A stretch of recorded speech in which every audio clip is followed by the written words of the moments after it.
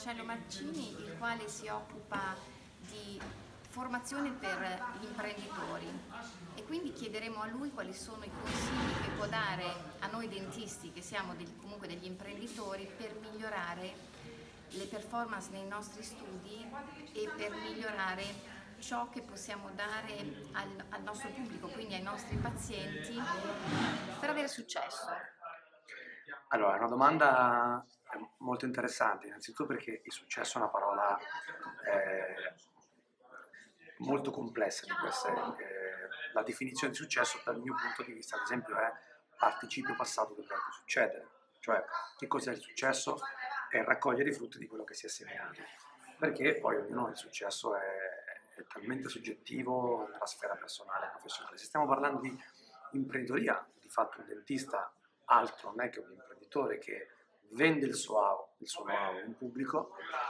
E penso che quindi le caratteristiche per chi fa impresa, a prescindere che siano eh, artigiani o comunque si venda un bene fisico o comunque un servizio come quello della, della professione di un dentista, bene o male siano abbastanza le stesse.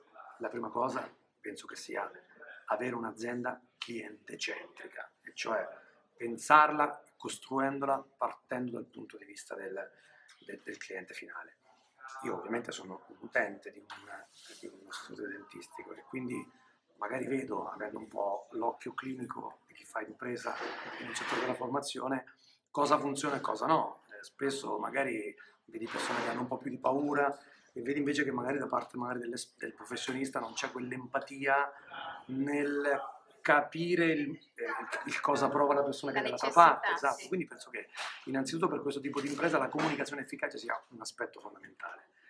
Eh, dall'altra parte eh, l'innovazione, nel senso che ciò che funzionava dieci anni fa oggi non funziona, Certo. probabilmente tra qualche anno eh, l'intelligenza artificiale cambierà le carte in tavola, probabilmente ci saranno delle macchine che sostituiranno alcune parti di ciò che fa l'uomo, Lo stanno già facendo. esatto, ma c'è penso una già cosa che la macchina non potrà mai cambiare, che sono le emozioni.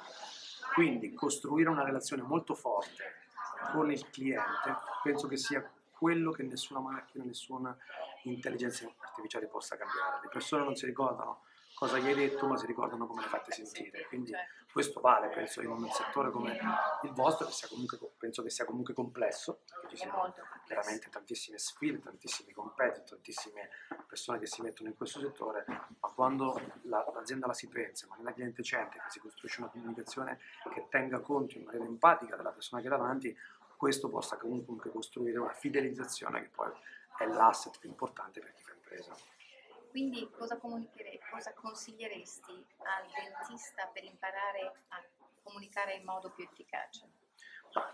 Paradossalmente la comunicazione più efficace poi è l'ascolto, no? nel senso che può sembrare strano, ma eh, ascolto che non vuol dire eh, sentire, ma vuol dire proprio cercare di comprendere ciò che non viene detto, cercare di capire ciò che c'è prima della domanda che ci fanno. Cioè, quando uno ci fa una domanda molto spesso c'è un pensiero dietro che l'ha generata e a volte è più importante capire il pensiero che ha generato la domanda oltre che la domanda stessa. Ci sono tanti libri, ci sono tanti corsi, quindi sicuramente eh, per un- il mestiere di un, di un dentista, ma come tutti i professionisti che, che operano e che lavorano nell'ambito clinico, penso che sia importante per loro, ma ce ne sono tantissimi che io conosco di professionisti, di non dedicare solo del tempo a una formazione tecnica e specialistica per capire come si mettono le mani nella bocca delle persone, ma anche come si dialoga, come si comunica.